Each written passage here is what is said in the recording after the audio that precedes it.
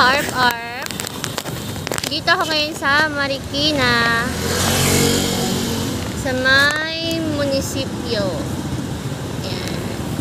Tingnan natin kung ilang oras ang biyahe ko from Marikina to San Mateo, Rizal. So, samahan niyo kami sa aming journey. Charot. Sa aming biyahe. Kasama ko aking kapatid na bunso. Si Crystal. So, yun. Nagpasa kasi siya ng requirements niya. Ngayong enrollan dito sa MPC. So, alam niyo ba yung MPC guys? Medyo maingay. Wala na po. Ganyan na lang daw. Wait. Ayan guys, nagpapasa kasi siya ng requirements niya sa Marikina Polytechnical College. Ayan. Wait natin siya guys.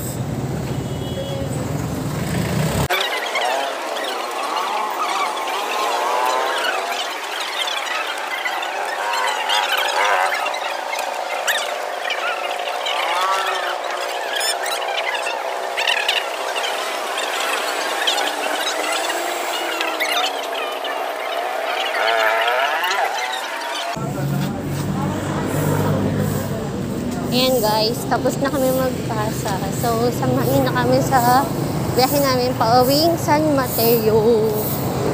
Let's go! O, bewa ka mo to ah. Hindi niya ito Ayan na guys, paalis na kami. San Mateo. Anong oras na ba? Tingnan natin na 11.07. Ayan, pauwi na kami ng San Mateo. 11 ng... Oo, sige. 11 ng umaga. 11.07 ng umaga. So, let's go.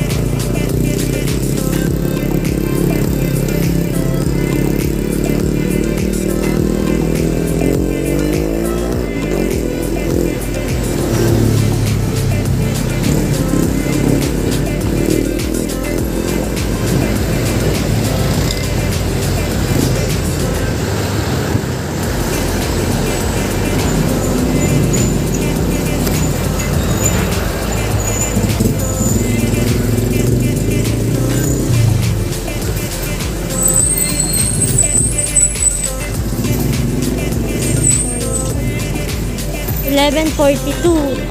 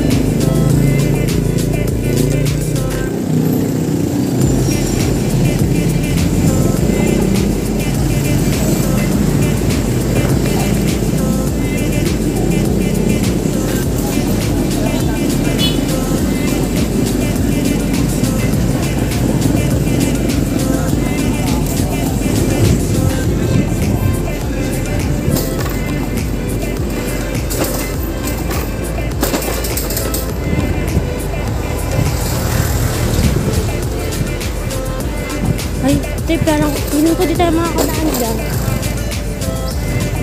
Tignan mo nga, nakalimutan ko.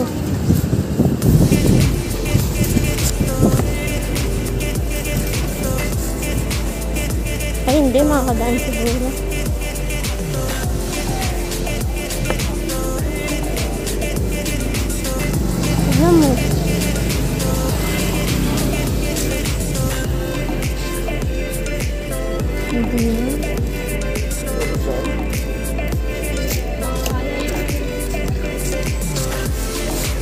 Kabalikin tayo dun.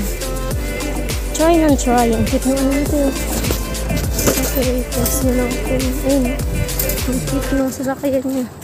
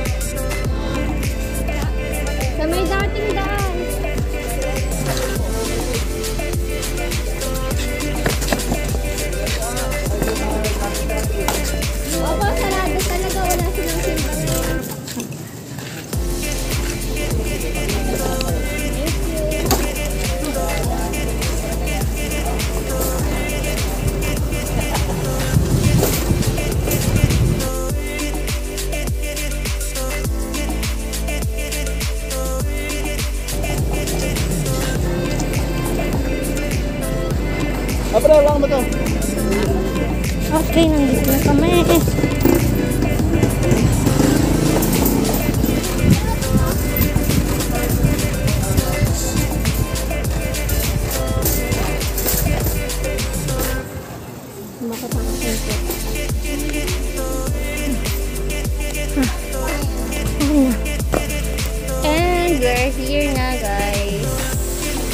Hi, mga ka-rap. Andito na kami ni Baba G.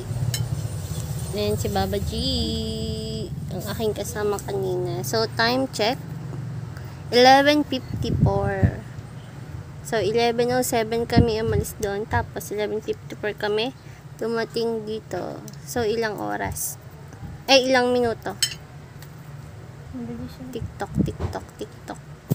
Kaya mo si Ilan, di pa din, di pa din naka-online lampas niya yung to. Sabi ko, mag-online. 54. Minus 7. 47 minutes ang aming biyahe.